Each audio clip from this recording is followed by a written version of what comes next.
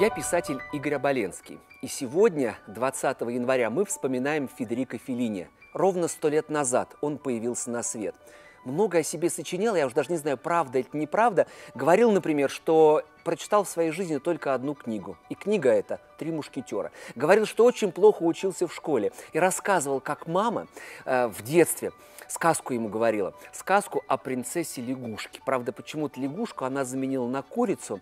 И потом накормила мальчика куриным бульоном. Вот надо было догадаться. И маленький Филини заплакал. Заплакал потому, что сказал, а вдруг в моем животе принц... э, курица превратится в принцессу. Как же она оттуда выберется? Филини стал сегодня символом кино. Ну, кто ж не знает его фильмы? Хотя я думаю, что есть и те, кто фильмы Филини не видел. Он сам уже на закате своих лет зашел в какой-то кинотеатр, и почти не было людей. И Филини сказал, мой зритель умер. Один из самых прекрасных фильмов Филини, простите меня, любители кино, но может у меня будет любимый фильм «Сладкая жизнь». Он дал главную роль не самому тогда известному артисту, имя которого Марчелло Мастрояни, а героя Мастрояни звали Папарацци. Фамилия такая была, он фотографа играл. И сегодня Папарацци стало именем нарицательным. Между Феллини и Россией есть «Хрустальный мост».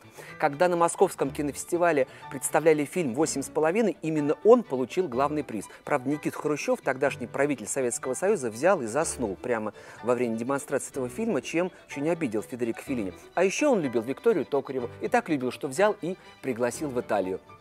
Главной женщиной самого Феллини была Джульетта Мазини. Прекрасная, красивая, глубокая актриса.